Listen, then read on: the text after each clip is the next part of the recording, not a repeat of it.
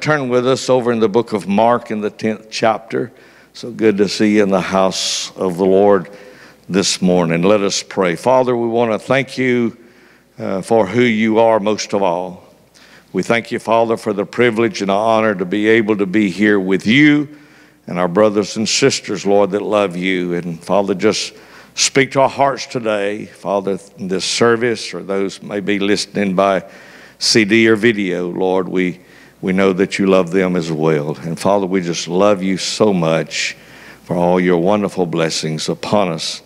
And uh, we give you all the glory in Jesus' name. Amen and amen. Mark's Gospel, the 10th chapter, verse number 17. And when he was gone forth into the way, there came one running and kneeled to him and asked, Good master, what shall I do that I may inherit eternal life? And Jesus said unto him, Why callest thou me good? There is none good but one that is God. Then he said, Thou knowest the commandments, thou do not commit adultery, do not kill or murder, do not steal, do not bear false witness, or do not lie, defraud not, or honor thy father and thy mother. So he's telling him, you know, the commandments, the 10 big, big ones. Of course, there's other things in the Word of God, but the big 10 of the Moses commandments there, we all know the 10 commandments. So let's just stop right here and just kind of look at them just for a moment before we move on here this morning.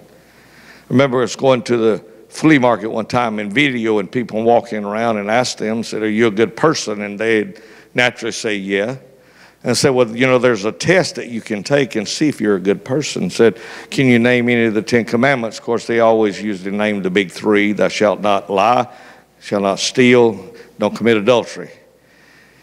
And I said, Okay, let's take a look at them. Said, Have you ever told a lie? It doesn't matter how big a lie it is. Have you ever told a lie? I said, Well, yeah. I said, Well, what does that make you? They said, A human. I said, What if I told a lie? What it would make me? He said, A liar, you know. So I ask you this morning have you ever told a lie? And if your answer is yes, and we move on to the next one and said, Have you ever stole anything? Remember, you've already said you're a liar. So, uh, have you ever stole anything? Doesn't matter the value, have you ever stole anything? And they answer you, Well, yes. Say, what does it make you? It makes you a thief. Said, Have you ever committed adultery? Now, now, in the Old Testament, you had to actually get in the bed with someone and to physically commit adultery. But Jesus said, But I say unto you, in Mark's Gospel, the fifth, or Matthew, the fifth chapter, he said, But I say unto you, whosoever looks with lust in your heart has committed adultery already. And said, Have you ever looked with lust in your heart? And said, Well, I guess so then by your own admission, you're lying, thieving, adultery heart. If God judges us by the Ten Commandments, would you be guilty or innocent? Well, I guess I'd be guilty. Would you go to heaven or hell? I guess I go to hell. See, in just a few short words, we have people at the gate of hell and hadn't really offended them by their own admission. And we was all once at the gate of hell. Amen? Because we all was lost at one time, was it not? Then you say if you was in a courtroom and, and, and the judge is about to pass sentence on you and you're found guilty and is about to pass sentence and said your fine is $50,000 and you didn't have two nickels rubbed together. And all of a sudden the door cracks open and a man walks in and says, I want to pay his fine. Said, How would you feel at that toward that fella. So I'd feel pretty, pretty good about that fella coming in and doing that. Well, I said, that's what Jesus did for me and you. When we was not able to pay the fine, Jesus took our place on that cross and he paid the price for me and you. Amen?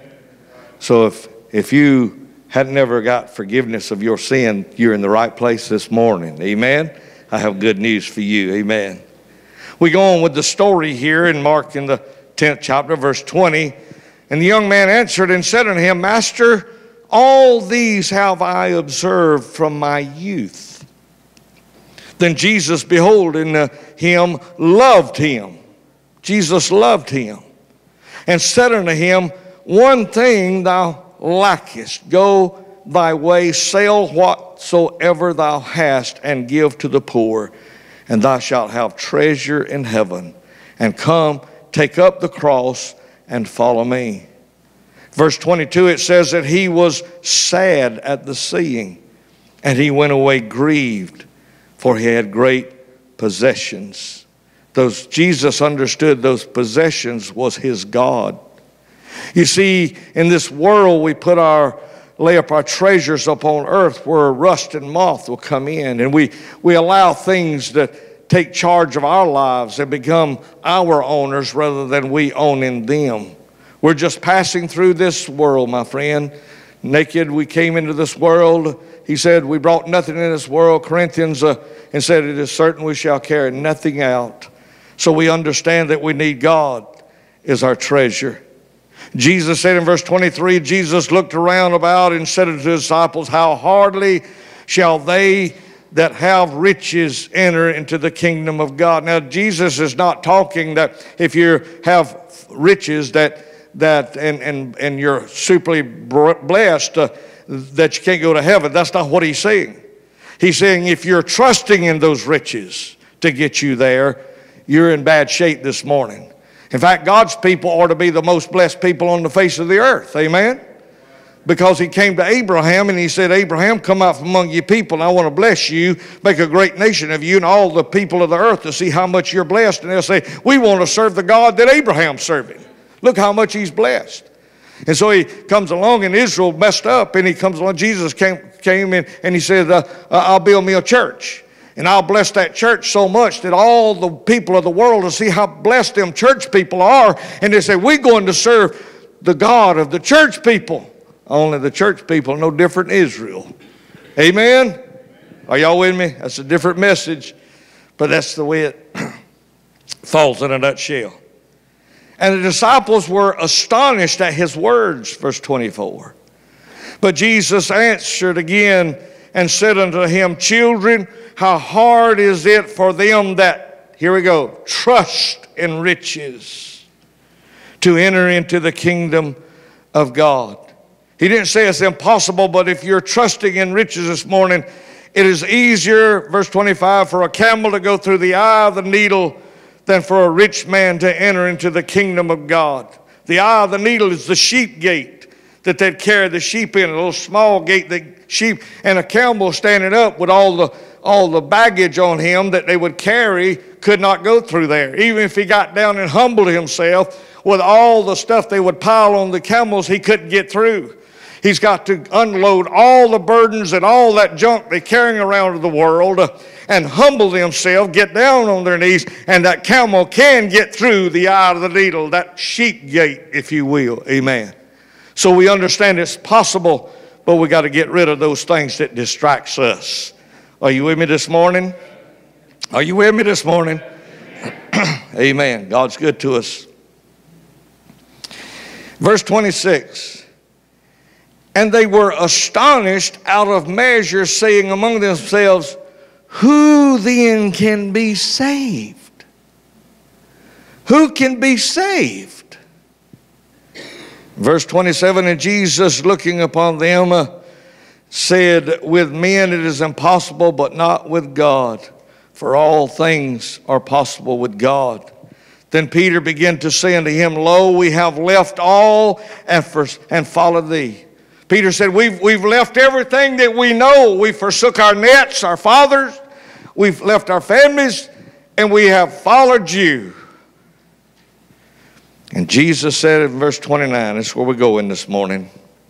And Jesus answered and said, Verily I say unto you, there is no man that hath left house, or brethren, or sisters, or father, or mother, or wife, or children, or lands for my sake and the gospel's, but he shall receive, say it. You know what that means? A hundred times. Uh, I'm telling you, it pays to serve the Lord a hundredfold now on earth, now in this time, houses a hundred times, a hundred times brethren, a hundred times sistering and mothering and children and lands uh, with persecution, and in the world to come, eternal life. In other words, he's saying, all this and heaven too, if you'll just serve me. Wow, what a deal. Amen? Amen. How wonderful God is to us. You ask the question this morning. Look, look at the one next to you and just ask them this question Why are you so blessed? Don't look at me, look at the one next to you, right straight in the eyes. Why is it that you're so blessed? Now look back at him and say, You are blessed, aren't you? What'd they say? Let me just do a survey. How many here is blessed? And the rest of y'all, y'all get, I think I got 100%. no, I just kidding. Amen. Let me, how many is blessed? And you know you're blessed. Some got two hands. I love that. Amen. That's double blessed. I'm blessed. Now look back at them and tell them the reason I'm blessed is because I live for the Lord. Tell them. Tell them. Look at them. Tell them. I am blessed. Why are you so blessed? Let's talk about that a little bit. Because you gave. That's why you're so blessed. Because you gave up the world. Because you gave up all those things that was distracting you from the Lord and you put God first in your life. That's why we're blessed this morning. You want to know how, why we're blessed? That's why we're blessed. Amen? We forsook all and followed Him. Forsook all and followed Him. How blessed we are. He said in John 3:16, I quoted it a while ago, For God so loved the world that he gave his only begotten Son, that whosoever believeth in him should not perish but have everlasting life. God gave. Did not God give? God so loved the world that he what? Gave. God gave, and because he gave his only begotten Son, he begot many sons. So when we give, our giving, my friend, blesses us back. That's what he's talking about. When we give up, houses, our friends uh, when we come to the Lord. And when you do, let me tell you, sometimes you'll lose a lot of your friends when you come to the Lord. Can I get a witness? Because they don't want that life. And that's good. You don't need to hang around that anymore. But when you give up those for the Lord, God gives you a hundred times more good, better friends that's not going to stab you in the back. Amen? When you give up houses and forfeit things and jobs and careers for God, God blesses you so abundantly. Amen. We can't even contain it. Hallelujah. Because you gave. You gave or you gave up things of this world. How many believe that this morning? I'll prove it to you this morning. Amen. We understand there in, in John in the fourth chapter, we know the story there, the woman at the well. You know, when she came there to the well, her, her life is represented with the empty bucket she had. You know, she might have thought she had everything, but her bucket was empty. There's people walking around today in this world with an empty bucket. Their life is empty, their life is miserable and they're walking around with this empty bucket everywhere they go. And they came, and she comes to the well, and Jesus is waiting on her. And she and Jesus more or less said, "If you leave that empty bucket, uh, you can go home with the well." And that's what she did. She left. The Bible says she left her bucket uh, and she went home with the well. Amen. Hallelujah! How blessed God is to bless us. You're wonderful, Father. You're wonderful. No doubt we've gave up and given up a lot of things in this world uh, that was holding us down. But let me tell you, every time we'd give something up, God would multiply it a hundred times back to us in goodness. Amen? We see in Philippians in the fourth chapter, they was giving people. They understood the power of giving. Let me find here where I'm at. Uh, maybe I skipped over scripture. Let me catch it right quick. Luke 14 and 28.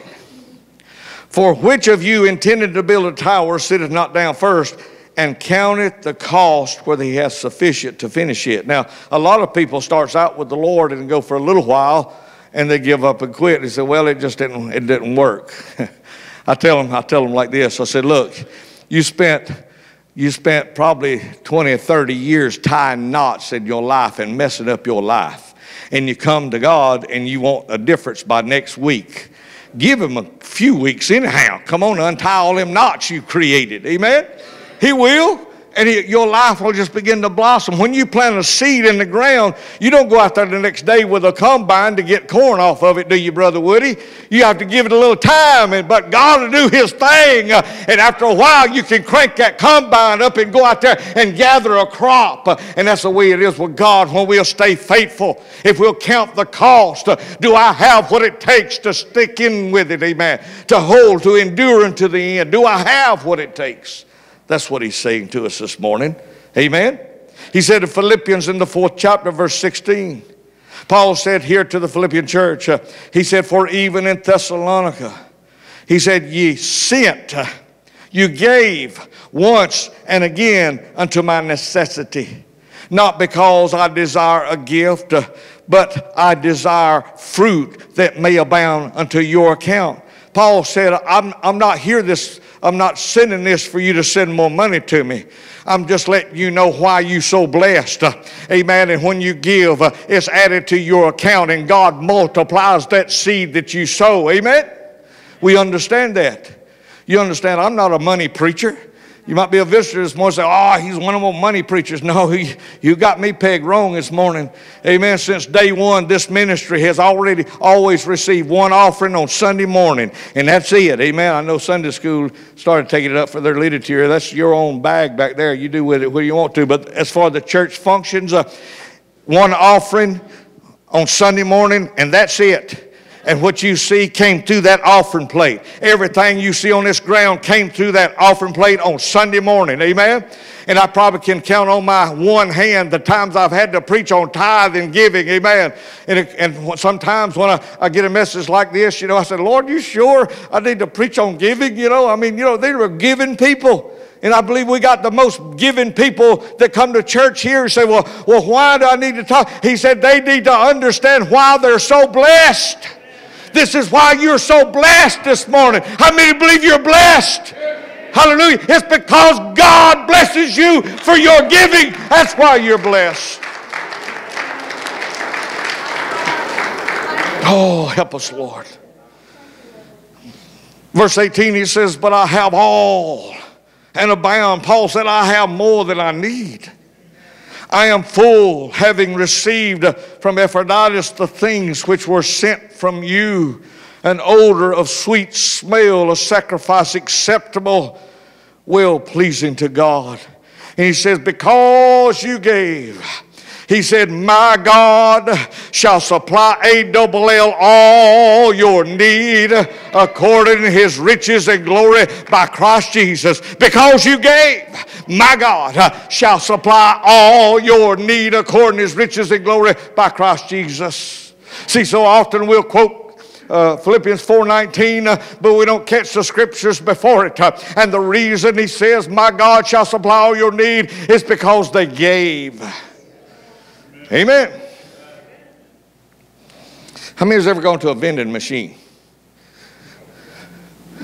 You walk up there and push the buttons. What happens? How many times we come to church just push the buttons? oh, you talking about we got to give every time? I'm talking about what do you put into a service? What do you got to do to that machine. I, I, I, reposted on Facebook. There was this the hmm. machine there, and all it was was a slot to put dollar bills in, and it says, "Put a dollar in to see how stupid you are." I imagine some people would put a dollar in. it just zip next, zip next, zip next. but think about it. When you walk up to a machine, what do you got to do first? You got to put something in it to get something out of it. And if you don't put something in it, you ain't gonna get nothing out of it. But the more you put in it, sometimes you go to machines, it'll be something for 75 cents. Well, now it's a dollar and a half, and something two dollars at 225, 250. And so it's according to what you put in it, what you can get out of it. And the service is no different. It's according to how you come, come prepared. Amen. How do you prepare the soil? Brother Woody is a farmer and he has to prepare that soil. Amen. Get ready for that seed. Amen. And so we got to prepare ourselves, right? Prepare ye the way of the Lord, make his path straight. We understand. How do we, what do we put into a service? Do we get into it on the edge of our seat and say, Amen, brother? He's killing me. He's killing me, but amen. He's stepping all over my toes, but amen. See, when you get quiet, I know I got your number. And I'm going to step on them toes. I'm going to stomp them then. But as long as you amen, and I said, man, if I can't get them. They just amen and they, they go along with it. But when you get all sold up, I know I got your number. Amen. you know what I'm saying. God loves you, don't you? You get out of anything what you put into it. Amen. That's why he said in Luke 6:38. What's the first word? Y'all shout it. Give, and it shall be given unto you a hundred times. How's that? Pressed down, shaken together, running over. Shall, and that next word, that men thing, just X that out in your Bible. That's added. That's if you read it, it's, it's in the Strong's Concordance, that's added. It's a 9999 word. It's just added for better readability. Man ain't the one that gives you. Your giving is what gives to you. So it reads like this Give, and it shall be given to you, pressed down, shaken together, running over, shall be given unto you. Your giving gives unto you. Amen. For with the same measure that you mete with all, it shall be what measured to you again. Only it's pressed down, shaken together, and running over before it comes back to you hundred times. That's what he's talking about. Are you with me? Are you with me? God's awesome. You're awesome, Lord. Now let's get to the, let's see, the touchy part here. Malachi, third chapter, verse 8. Will a man rob God? Yea, you have robbed me. But you say, Wherein have I robbed thee? He said, In tithe and offerings. You're cursed with a curse, for you have robbed me, even this whole nation. Now, we think because we don't give, we rob God of that money we're supposed to give, or our time, or our house, or lands, or whatever it is. God's not talking about that. He said, You have robbed me from blessing you. You have robbed me from blessing you. God don't need our money. Amen. What did Jesus tell the disciples when they paid the taxes? Go down and catch that fish, get the coin out of his mouth, pay the taxes. I mean, God don't need, God don't, I wish American government, United States government would realize we don't need money, we need God. Money's not the answer.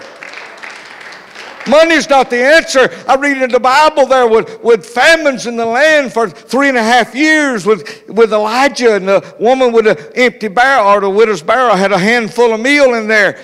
But because they didn't have any money, if they had money, there was no food, there was a famine, money would done no good. But for three and a half years, that barrel never ran out. See, because they had God. Amen?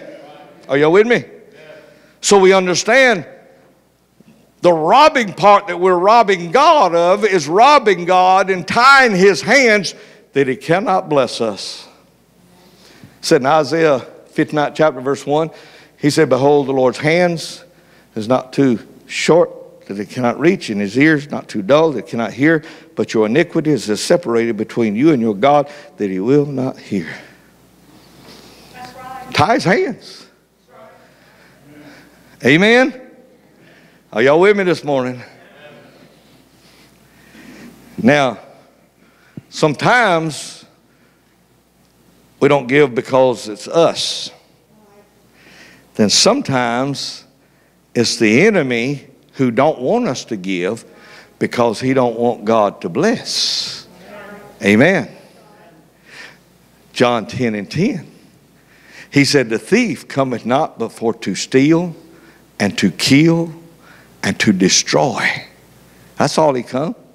Come to keep you from getting blessed. But Jesus turns around and said, But I am come that you might have life and have it more abundantly. And if you do like I ask you to do, you'll untie my hands and I'll pour you out a blessing. Oh, so much. Amen? Are you with me? Are you with me?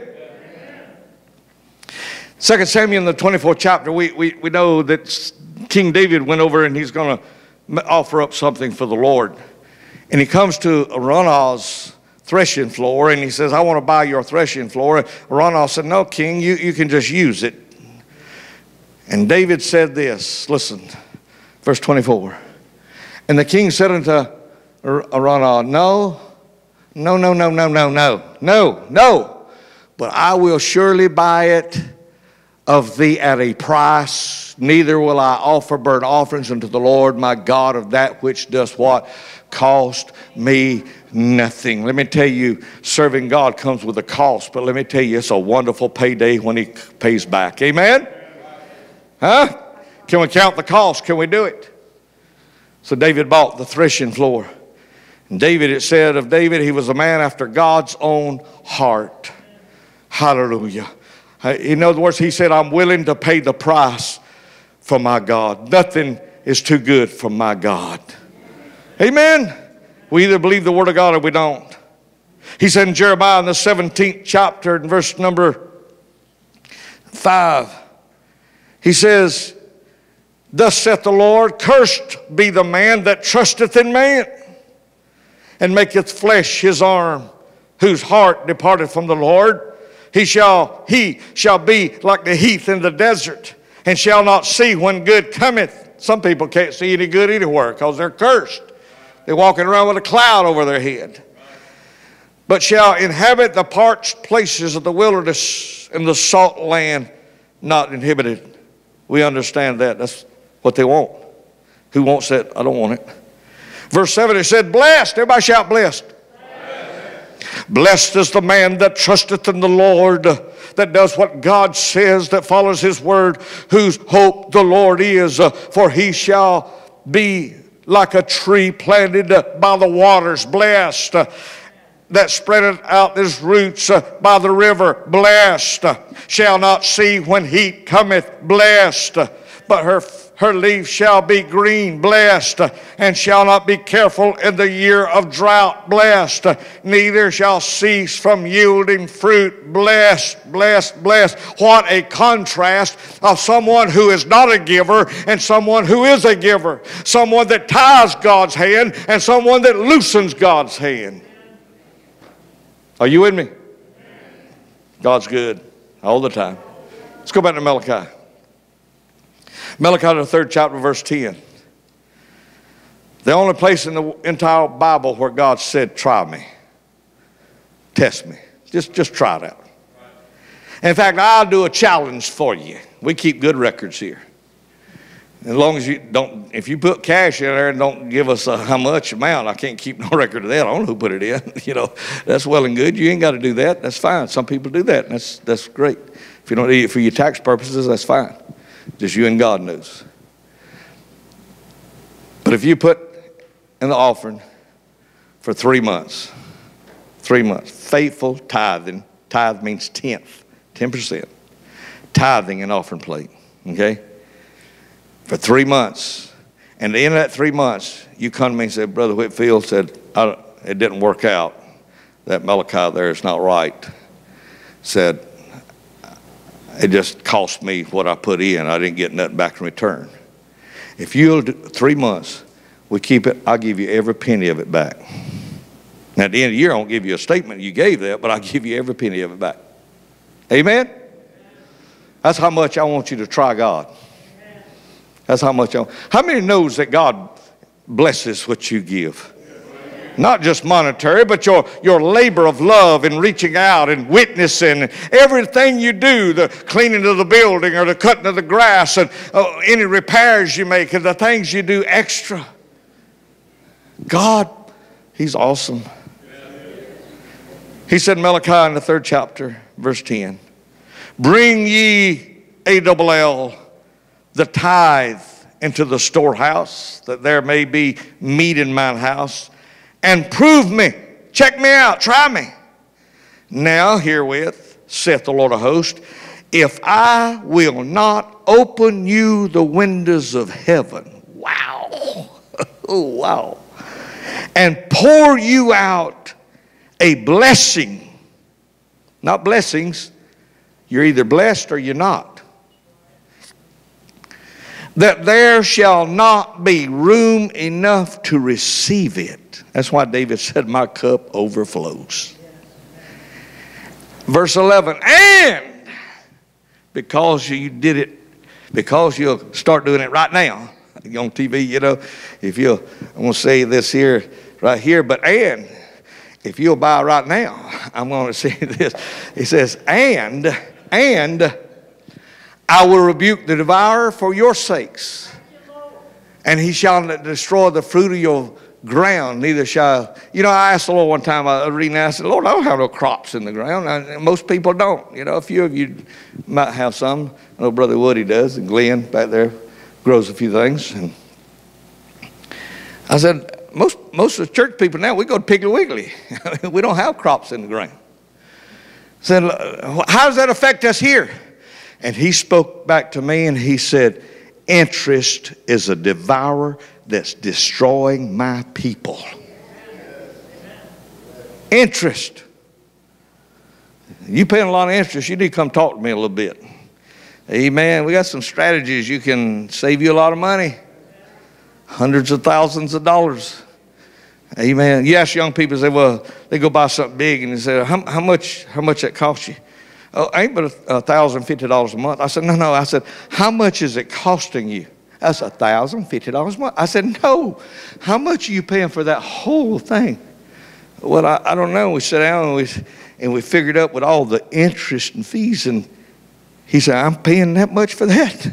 That ain't a deal after all. I said, no. I said, interest is like taking money and sticking a match to it. You get nothing for it. In fact, interest is the price a poor man pays for being poor. I'm not cutting now. I've paid interest before. But I've got a little smarter through the years. These gray hairs mean something. Amen? I woke up, but it wasn't yesterday. Amen. I was born, I guess is what I should say, but it wasn't yesterday. I was born, but it wasn't yesterday. Listen. So interest is a devourer. That's one way. It's all kind of things. My dad told, uh, when we first got saved, he, that's, my dad was a preacher all my life. That's well, I'm so mean, I had to play with a preacher's kids. But, but anyhow, he asked, asked me, he said, Are y'all tithing? And I said, uh, I said, Well, yeah, you know how you humble a little bit. And he said, You need to, you need to give your tithe. And so we started doing that, you know. He said, When you tithe, your shoes last a little longer. Tires on your car seem to go a little further.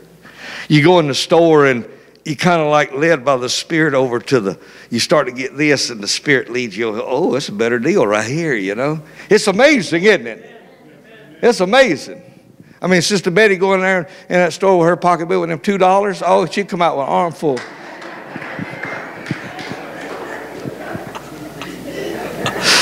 Gotta love her.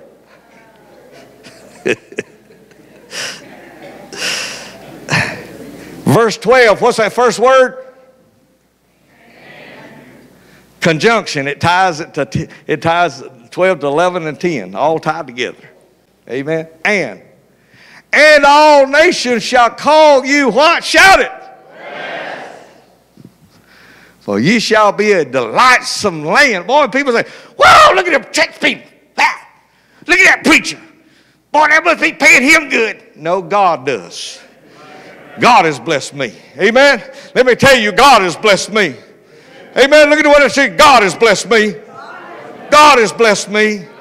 Hallelujah.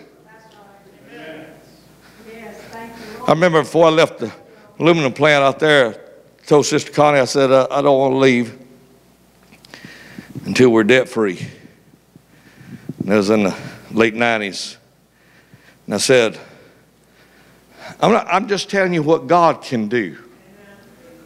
I'm just telling you what God can do.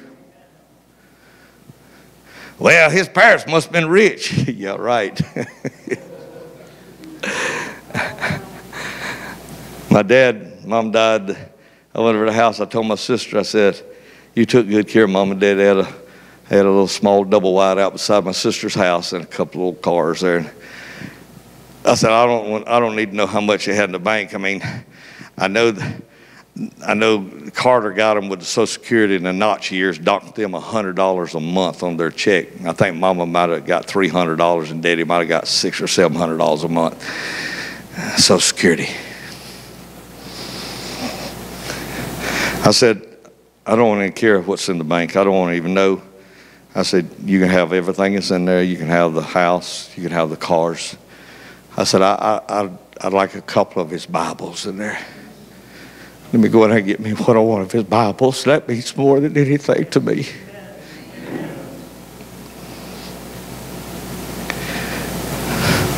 Before I left the plant out there, we was debt free. I didn't want somebody to come along and see how God has blessed me and say, hey, look how the church has kept you up. No, no, that's not the case. Amen. I appreciate what you give, but that's not the case and all nations shall call you blessed. Boy, them church people are blessed. Now, now, now, if you got coworkers and they see you in poverty and begging and, and walking around, and say, I'm just struggling from week to week. I'm getting barely getting by, you know, and, and I don't know, I don't know how I'm going to make it. And uh, you won't come to church with me.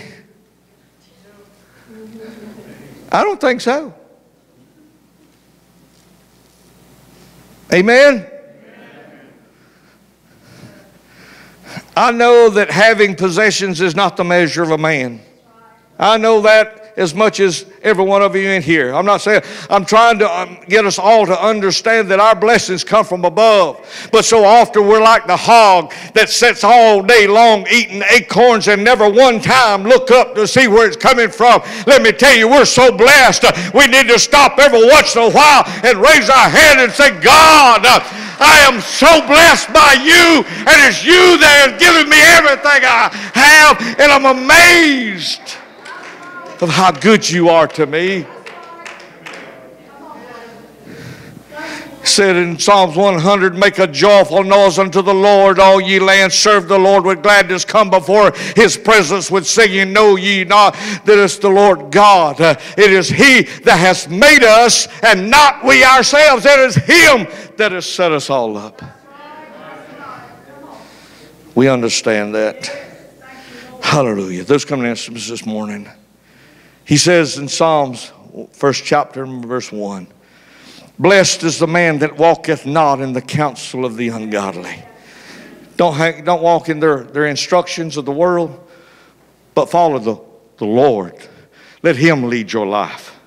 Let Him help you with decisions, and you're going to be blessed.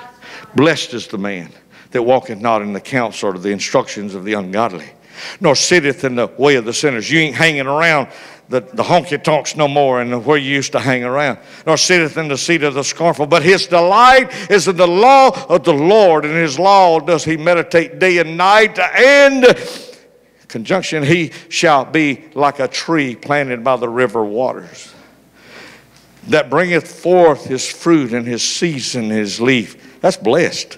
His leaf also shall not wither. It's blessed, and whatsoever he doeth shall prosper. Amen. Too blessed to be stressed, too blessed to be depressed, too blessed to be a mess. And God good. You know, I remember back years ago, Sister Betty right here, Sister Mary, Sister Vanessa, where she's at. Brother Carlisle used to say, oh, he's going to be with the Lord now. They worked at Brightline out there on the other side of Summerville, and they had a they had a fire. They had a fire that shut the plant down. Big fire. Shut it down.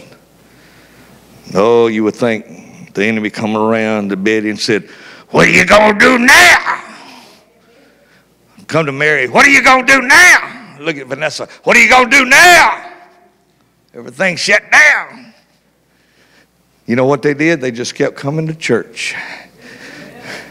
About a week later, about a week later, they came in with big old smiles on their face and said, we, We're working. Man, they're about to work us today. We're getting overtime. All the ones that was part of this church here, it wasn't because they was part of this church. Let me tell you what it was. They was tithers. Every one of them. I know. I see the books. They was tithers. And every one of them, all the others got laid off. But they're about to work them to death overtime. Amen? Amen? Ooh, how good God is. Like the preacher went to the barber shop and he was sitting in the barber's chair and the barber cutting his hair and he told the preacher, well, ain't no God, can't be no God. Said all the problems people has on this world and all the things going on and people bound with drugs and alcohol and families falling apart. Said, can't be no God. Preacher just sat there and took it. A few minutes, the guy walked down the picture window and had hair down about along here. And the preacher said, It must not be a decent barber in this town. He said, What you talking about? I said, That guy wouldn't be walking down the street like that right there, that mess. He said, well, well, I can't do nothing about it unless he comes in here. Exactly my point. Except they come to the Lord. God can't do nothing about it uh, until you begin to obey the Lord and do what God said. You tie his hands. But if you'll unloose him, he'll bless you. In closing, Deuteronomy 30 and 19. He said, I call heaven and earth to record this day. We're witnessing here one another. It's being recorded in our mind, and it's being recorded in heaven. This service is. Against you that I have set before you life and death. There's only two choices in life, only two roads heaven and hell, straight and narrow, broad road straight and narrow, and the broad road. Blessing and cursing. And then he said, choose life and blessing. Gives us a little hint that both thou and thy seed. I'm telling you, I look at some of you families, not only you're blessed, but your children are blessed. It runs over out of you over into them. Amen, Brother Donald? Look, look down your pew there, brother. I can see it. I look how Sister Connie and I have, have from a pretty young age, early 30s, been serving the Lord. 37 years pastored here at this place. No doubt, Brother Edward sacrificed a lot like you and others have in this building for the Lord. But I look at my daughter and how that God has blessed her and her, her family.